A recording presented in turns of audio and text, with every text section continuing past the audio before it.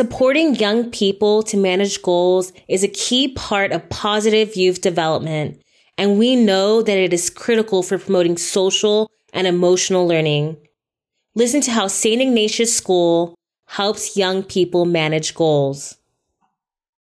Um, I work in a middle school, and some of the ways I help our students work towards achieving their goals are both in the classroom setting and on a one on one basis.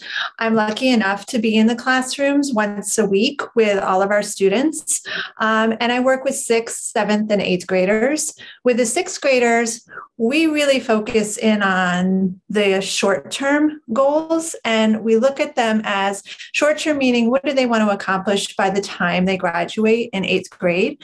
Um, and so by looking at those goals, we break them down into achievable chunks, and we do that with lots of activities. So, one thing I'm doing with my students right now is I'm allowing them to identify goals, and we're literally making a paper chain like you would find around a Christmas tree. And each link of the chain is one step toward achieving that end goal at the end of the chain.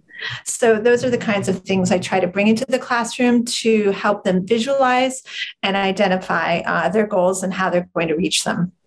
So, one of the activities I do with our uh, seventh and eighth graders is a puzzle activity.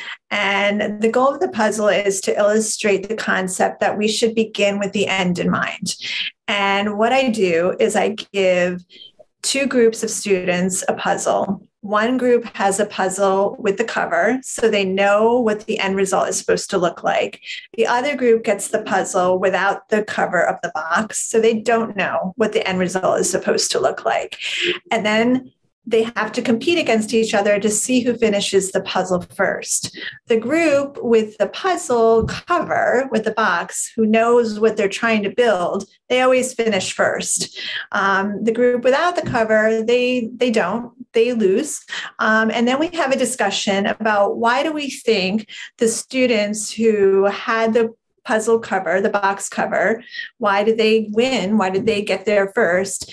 And students come to realize that it's because that they knew what they were building toward. And without knowing what you're building toward, without knowing what your end goal is, it's really hard to get there. Um, you might get there eventually, but it's easier to get there if you know where you're going. And when you have the cover of that box for that puzzle, you know where you're going when you're building the puzzle. As you listen to the speaker, reflect on how they provided opportunities for young people to set group and individual goals, pursue various strategies to meet their goals, reflect on progress along the way, and shift gears when necessary.